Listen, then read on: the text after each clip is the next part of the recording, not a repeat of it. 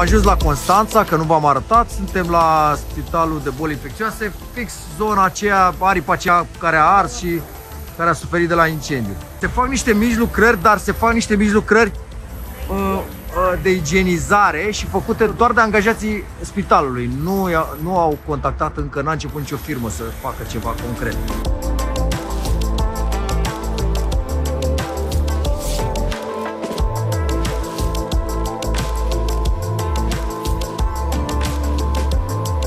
Dacă vreți să ajutați, SMS cu textul facem la 845